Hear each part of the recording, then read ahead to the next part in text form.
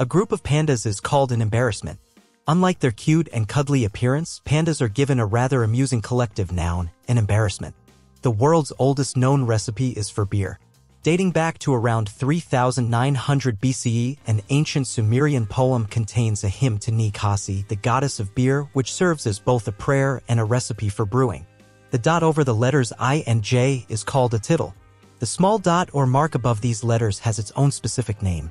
The longest time between two twins being born is 87 days. Twins Amy and Katie Jones Elliott were born prematurely with Amy arriving at 23 weeks and Katie at 34 weeks, making them Guinness World Record holders. The world's largest volcano is underwater. Mauna Loa in Hawaii is the largest volcano on Earth when measured from its base below sea level.